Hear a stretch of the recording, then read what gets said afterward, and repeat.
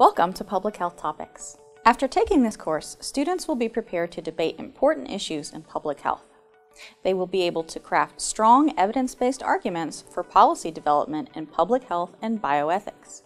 They will use data to draw meaningful conclusions about our world and identify systemic patterns in health. Because public health relies on a number of systems in order to serve diverse populations across the globe, this course will take a systems thinking and modeling approach. Using authentic performance assessments, students will work in teams to apply concepts learned throughout the term. Students in this course play the role of the active participant in collaborative and cooperative work with their peers. They will engage in discussion, fostering a sense of cultural awareness and social justice. They will also harness their intellectual curiosity with projects focused on self-directed inquiry and reflection.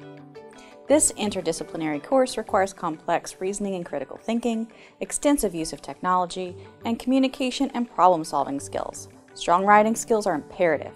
Thanks, and I look forward to working with you.